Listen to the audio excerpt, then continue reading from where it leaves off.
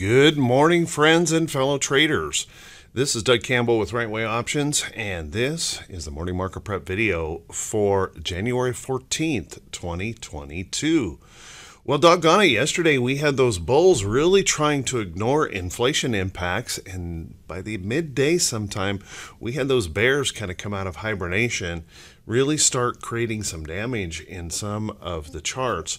So, what does that mean for today? Well, how about we settle in, buckle up? Let's get ready for the Friday edition of the Morning Market Prep video. Good morning once again, everyone, and thanks so much for being here. You know, we have an interesting day today because we have that uncertainty that was created yesterday with that little bit of bearish action in the market. And yet, we know we have that uncertainty of the silly season that's going to kick off today with big bank earnings. So, I think anything is possible. And unfortunately, it's one of those situations where you know, no one knows what's actually going to happen in the market, but what we should be doing is preparing for some pretty substantial price volatility. Having said that, let's take a look at the price action of these charts and see if we can gain some information about what we might want to do with that as we move forward. First off, if we take a look at the Dow, boy, the Dow is the strongest index out there right now, and we still have a little bit of damage here yesterday from that selling. Bearish engulfing candle and that possibility of a little follow through here to the downside that would come back in and maybe retest this trend as support. And notice that at this point in time, we officially have a lower high on the market and we failed right at price resistance. Now, if it weren't for earnings, if it weren't for earnings season, I would say the high probability is that we continue on down here today. But I don't think I can say that with earnings coming around. We have so much hype um, on these earnings reports. If they can beat analyst estimates, we certainly could reverse this and go back up. So if we do reverse, if we find reason for bullishness here today as those earnings come out, just take a look at some of these resistance levels in the chart. We'll want to respect those uh, if we push back up. If those bears find reason to um, support the follow through to the downside, watch this area right in here. We bounced off of that area before, and let's take a look. If we look at our technicals, you can see our 50 day moving average is not that far below. And if those bears were to engage, there really is that possibility we could test that 50 day and even slice through a bit. So watch that carefully here in the chart. Now you'll notice that there is a little bit of price support. There is a little bit of price support right through here that could help that 50-day moving average hold things up. And if that does happen to fail, we've got a little bit of price support right through there that could help hold us. So watch that closely if the bears do happen to become engaged. If we take a look at the SPY, SPY left behind a very concerning pattern here. Um, bearish engulfing pattern. That is a big, ugly black candle on the day and a lower high at price resistance in the chart.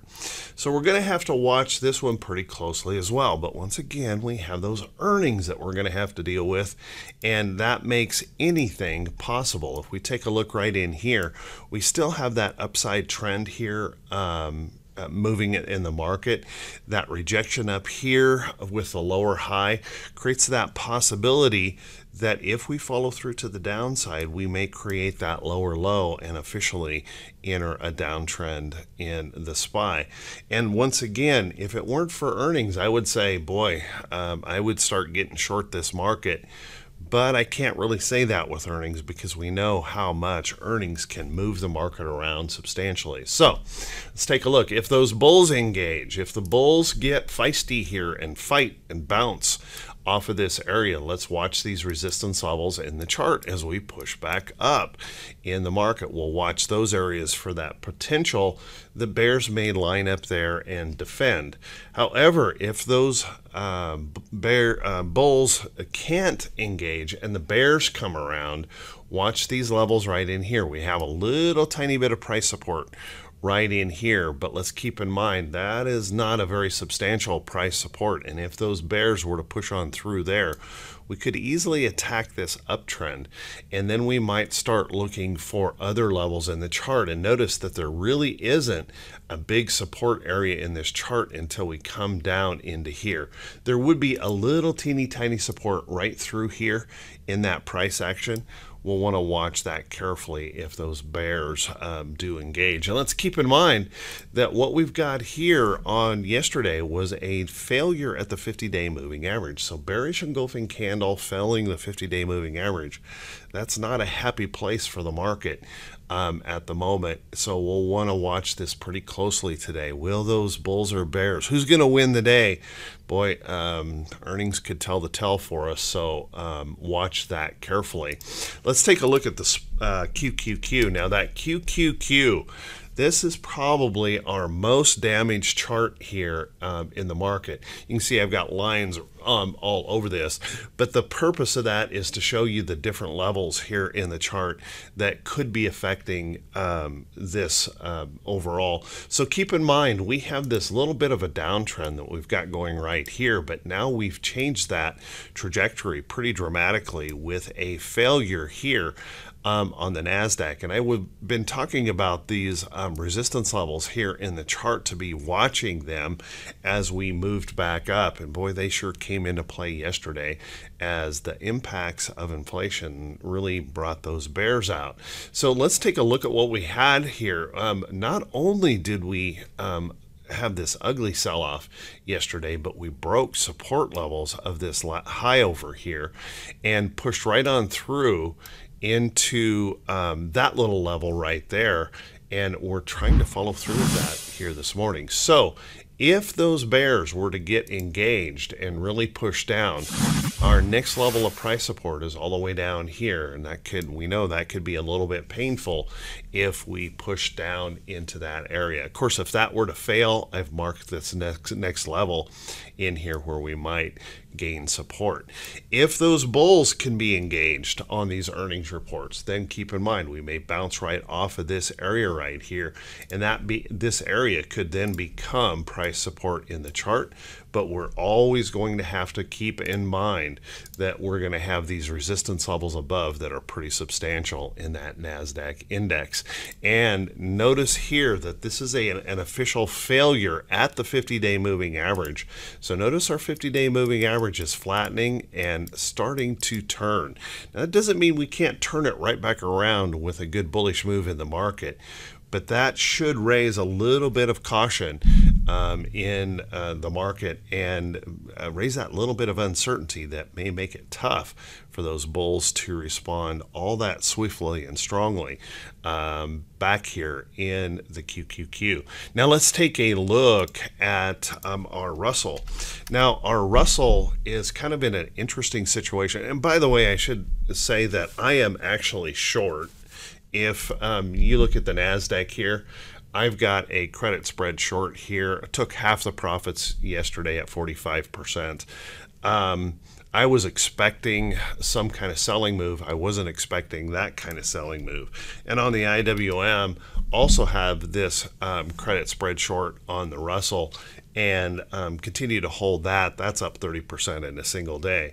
So, watching this chart here, um, we have a, a, major problem here with the Russell, and and that is the fact that we are um, obviously in a downtrend in this chart, and we have a year's worth of price congestion here in the chart. Now, what's going to be key here is if those bears engage is whether or not this this area of support will hold once again because if that fails, man, we have a big open space to move down in the Russell. Keep in mind that downtrend like this, we could move down pretty sharply if we fail in that area. So watch that carefully. Now, if those bulls can find inspiration and get inspired here, keep in mind as we rally back up, we've got all this price congestion in the chart to consider, and we've got our 50 now starting to cross down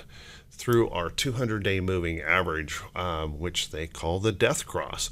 So watch that carefully. A little bit of problem showing up here, and IWM is really indicating one of the weakest of the indexes out there. Let's take a look at our VIX.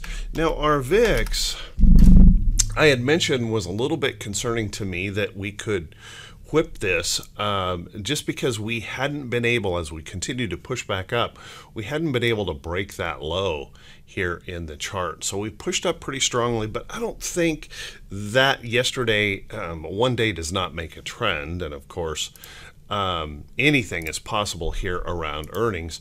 But if we take a look at this, we did not break that downtrend in the chart. So I still, I'm going to have to give this up uh, mostly to the bulls. We did break above that 20 handle, which is a big support resistance area in the chart, but we didn't break up there with such strength to make me think we're just going to uh, necessarily just have to follow through to the upside.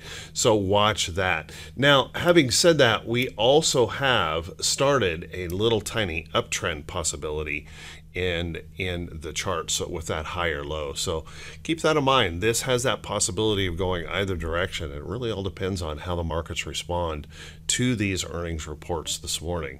And then let's take a look at our um, t21 22 now T2122 the other day as i was saying i know no one likes to hear it but we continued we were pumping up um, we had pushed all the way up in here um, yesterday in T2122 and we were up in that bearish reversal zone. And, you know, as many times as I show this, it's kind of funny. Um, folks want to ignore it. we don't want to believe that this has any merit um, in the market, but um, obviously it does. So when we push up into these areas, um, we need to be a little bit careful and cautious and actually start thinking pro taking profits on the long side. And if you're thinking short, that's the time to start putting together short positions. So watch this here um, as we push down. Now, yesterday's move was damaging in the index charts, but not so damaging here in T2122. Notice that we didn't even quite make it down here to the mid-range of that chart. So what does that mean? Well, as I've been saying all morning, when we hit earnings, anything is possible. And what that also shows us here in T2122 is we're about 50-50 to either side, um, depending on who engages. If the bulls engage, we have plenty of upside room to recover to the uh, to the upside. If the bears engage, we have about an equal amount of potential move to the downside. So, um, you know, it's kind of a coin toss today. And I really think that's how earnings act. It's just kind of a coin toss in the market. You're just gambling with a 50 50 chance on a coin toss around earnings events. So watch that carefully. And then if we take a look at our T2108, T2108 surprisingly held up pretty well yesterday. So I'm still saying there's some hope in this um, internal in the market. I don't like the fact that we continue to try and press up with fewer and fewer stocks holding the market um, up. But I will say it is encouraging that we've pushed up here, and at least for a brief period of time, we're holding some support in that T2108. So this is the percentage of stocks above the 40-day moving average. So about 46% of the stocks we kind of held in there pretty well yesterday. So watch that closely. And then if we take a look at T2107, I'm going to say the same thing about T2107. Although we didn't, uh, we sold off hard yesterday, we didn't have a major um, increase in damage here on T2107. And there is that little bit, there's that glimmer of hope that we're going to hold this higher low in that chart. So about 42, 43% of the stocks above their 200 day moving average. And if we could actually get enough bullish energy and push out above here, then we would be in pretty good, um, a pretty good place in the market. However, if those bears were to engage and we were to start breaking this back down, um, that's that's where I kind of lose um, my enthusiasm that we may be turning around here. Let's take a look at our T2101. I thought this was interesting yesterday with all that battling going on between the bulls and bears. Um, our market breadth just dropped like a rock. So we're clear down here, scraping the bottom of the barrel here on market breadth. Now, what that means is, is as that bullish move, um, if those bulls engage and we can stay down in this range, we're winding this this um, wedging pattern up that we've been in for a couple of years uh, on the chart, we're we could wind it right up to the point, and that would be bullish for the market in the short term.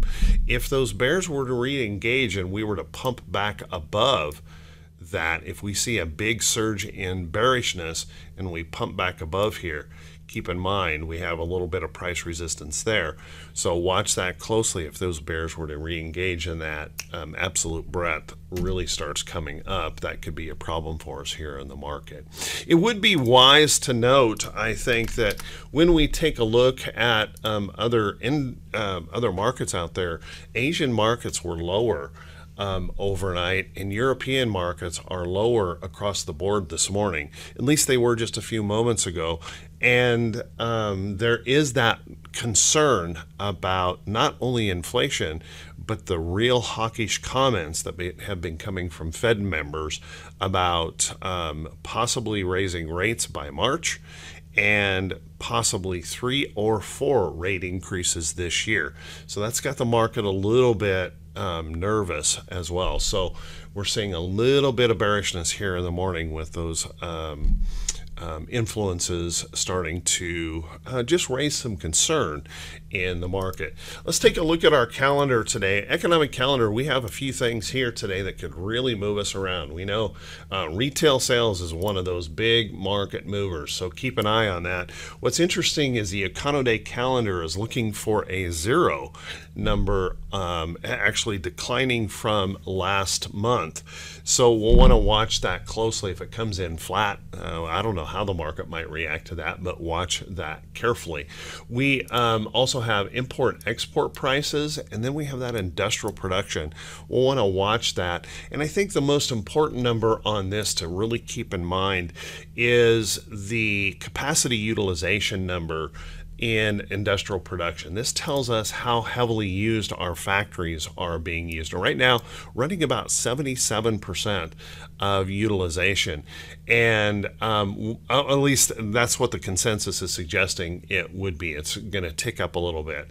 Um, but notice that we're seeing month over month possibly decline and manufacturing output month over month possibly declining. So I'm not sure 77% is going to be right. And if we start seeing that move lower, that's a little bit of a hint that our economy might be slowing. Um, so watch that closely. And then we've got our business inventories and consumer sentiment. This will be interesting this morning on consumer sentiment. Is this inflation starting after we get past the holidays? Is it going to start impacting consumer sentiment? Um, I think there's a possibility that it could, and we're already at a very low reading on sentiment, so watch that one pretty closely. So, with that, we have um, on the earnings calendar, also a big day of earnings reports. Now, it it's not a, a huge number of earnings reports, but we know these are um, reports that can move the market a lot.